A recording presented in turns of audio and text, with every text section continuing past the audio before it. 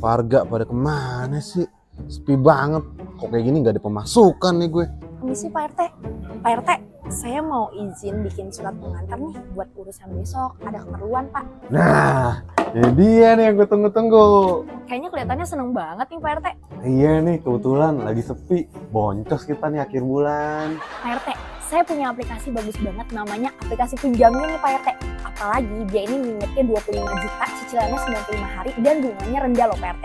Dan udah gitu, dia ini udah berizin OJK juga nih Pak RT. Terus cara ngajuinnya gimana? Oh, gampang Pak RT cara pengajuannya dengan klik link di bawah video ini dan ajukan sekarang. Yuk yuk download pinjam yuk